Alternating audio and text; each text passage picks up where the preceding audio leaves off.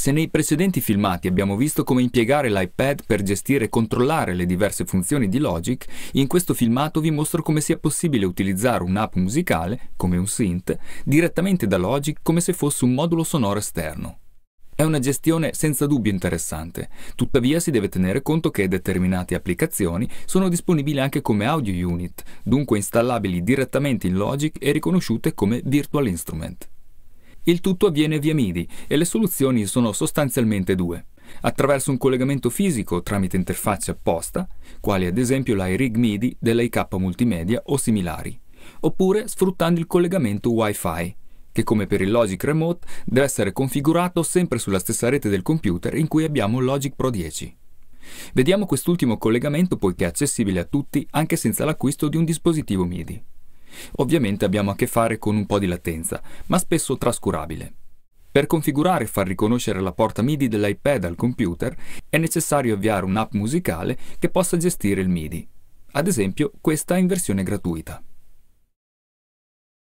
Fatto ciò, si deve andare nella finestra delle applicazioni del Mac, cartella Utility e aprire Configurazione MIDI Audio.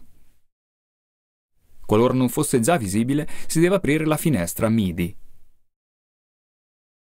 Ora si deve fare doppio clic sul network.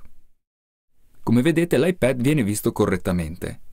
Per connetterlo al computer si deve innanzitutto creare una sessione utilizzando il pulsante più e attivarla. Fatto ciò, basta selezionare l'iPad e premere il pulsante Connetti. Se il collegamento Wi-Fi è corretto, l'iPad appare in questa finestra di monitoring. Perfetto, il collegamento è andato a buon fine. Il passaggio successivo è crearsi una traccia in Logic. Ne creiamo due, una software instrument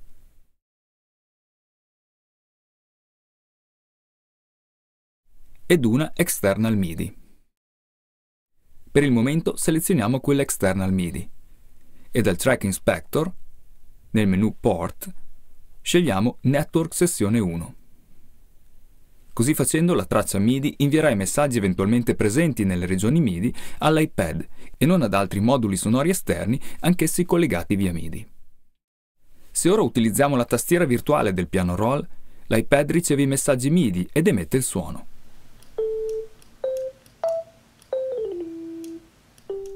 Come vedete è molto semplice.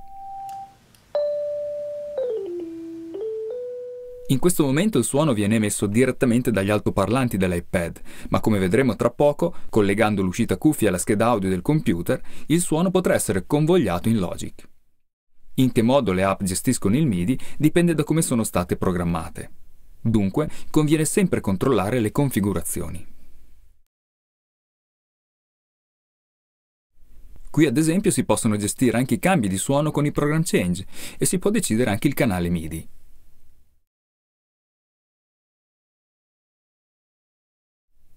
Se infatti da Logic inviamo un messaggio di cambio suono, l'app carica il suono adeguato.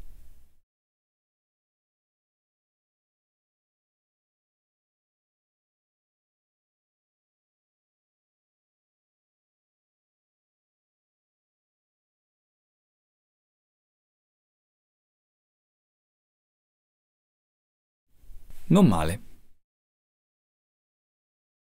Passiamo alla traccia Instrument ma prima è opportuno collegare l'uscita cuffie dell'iPad alla scheda audio con un cavo stereo adeguato.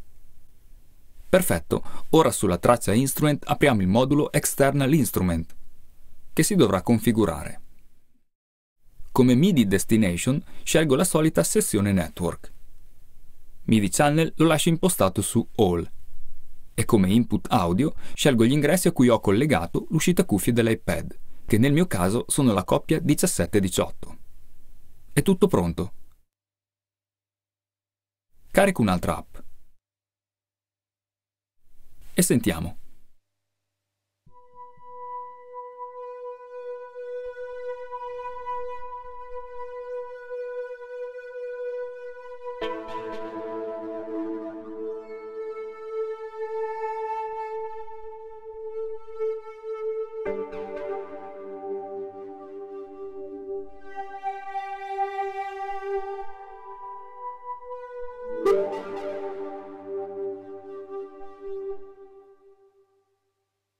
Cambiamo di nuovo app.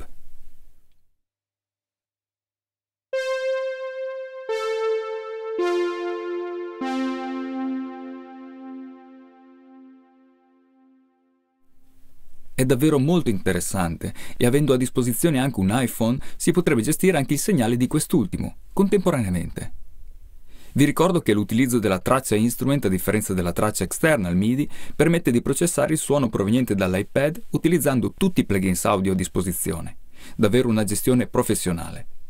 Prima di passare al prossimo filmato, guardiamo il menu setup di questo strumento per capire quali possono essere le diverse possibilità che si possono incontrare in queste tipologie di app. Nella sezione MIDI in, come vedete, appare il network sessione 1. Se imposto off, da Logic non sarà più possibile comandare il Moog.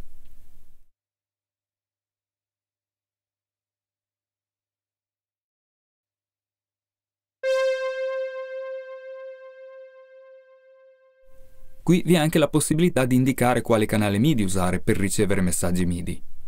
Omni riceve da tutti e 16 canali MIDI. La sezione MIDI out è molto simile. Se anziché off si impostasse il network, si potrebbero registrare le esecuzioni fatte con la tastiera del Moog direttamente in Logic. In questo caso però è un'implementazione a pagamento. Come vedete l'iPad è diventato uno strumento professionale a tutti gli effetti e personalmente lo trovo molto creativo.